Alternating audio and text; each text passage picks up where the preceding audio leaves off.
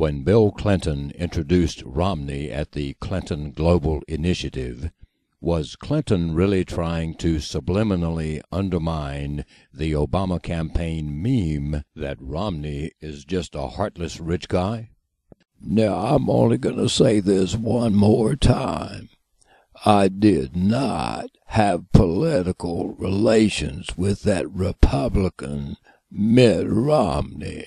But some people think Hillary would rather run against Romney in 2016 than be running as an heir of the Barack Obama administration. Wait a minute. That's, you know, something I hadn't really thought about before.